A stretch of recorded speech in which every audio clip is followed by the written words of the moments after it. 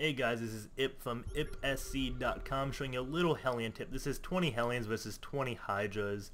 The unit composition I really hope you don't see in a game, but this just shows you how to use Hellions against ranged units.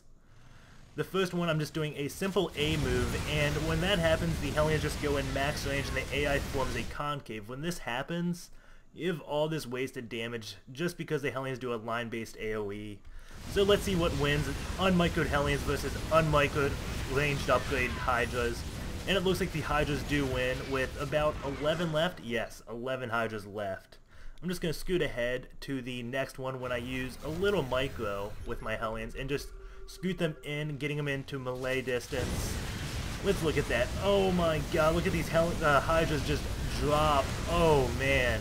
Let's see what happened. Looks like I won that battle with about 6 Hellions left. This next one I am going to get the pre-igniter upgrade. So it's going to be pre-ignited Hellions versus ranged upgrade Hydras. And that is about it for the upgrades. Just fast forwarding along, I accidentally got a free shot. So we're going to be subbing those units out. And I'm about to be going in. It looks like, come on, anytime now. and I'm going in. These have pre-ignited upgrades, and just look how quickly these Hydras go down. Didn't put up any type of fight. I live with about 13 Hellions left. The Hydras took out only 7 Hellions.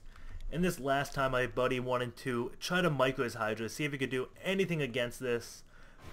But I don't believe he does well at all. Going in, his moves his Hydras back, but they are off creep, so they're just so slow. My Hellions coming in, shooting, scooting for kills, and look at all those go down in that one volley. I lived that one with 16 Hellions left, only lost 4, so it was a little bit of over Micro, as the Micro actually hurt him in the long run. But that is it. If you enjoy this, check me out on ippsc.com or subscribe to the videos. A lot more tips to come. Thanks for watching.